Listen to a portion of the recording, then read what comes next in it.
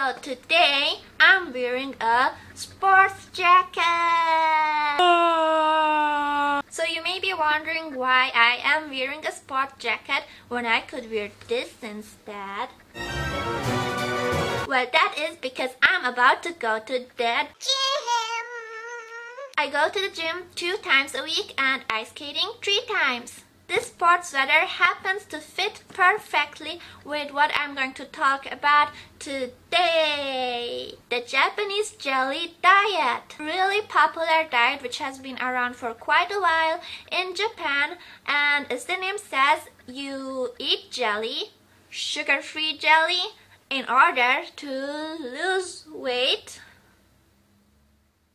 Eating zero calorie jelly to lose weight has become like so popular that when you go to a convenience store you can see these little packets of zero calorie jelly and there are many flavors of them. Just yesterday I went to the Japanese supermarket here in London and right at the fridge I found this. This is zero calorie jelly, which is a lie. If not zero, this must have at least 5 calories, but it's not completely zero. I'm pretty sure. Because this contains an artificial sweetener, it must have some calories. And not to mention that artificial artificial sweetener is really unhealthy. So the diet goes like this. You have a jelly drink instead of a sweet or drink this jelly as a meal replacement. The jelly diet may work over a short time, but in the end, if you really want to stop eating as much sweets, you could just replace the sweets with uh, healthier sweet options. But still, I decided to give them a try and see if they're actually yummy or if they taste artificial and blah. Okay, so we have grapefruit flavor and muscat flavor. So, hmm. Yeah. Okay, I try the muscat one first.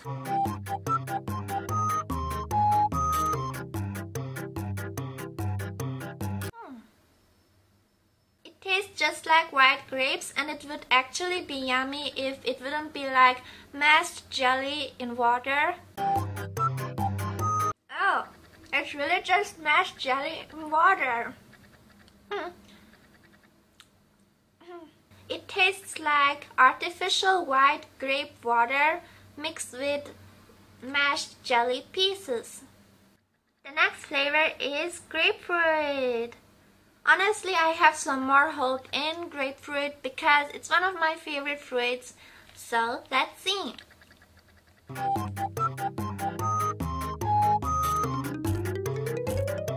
It tastes like dishwasher. This one tastes like mashed jelly in grapefruit flavored dish cleaner. Why drink a weird jelly that tastes like the artificial version of fruit when you actually could eat real fruit which also contains fiber and all the vitamins and all that healthy stuff.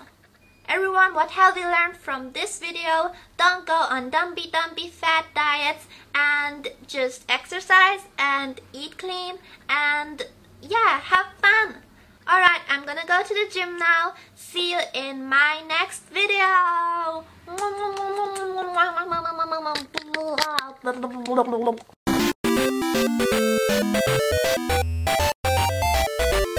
Thank you.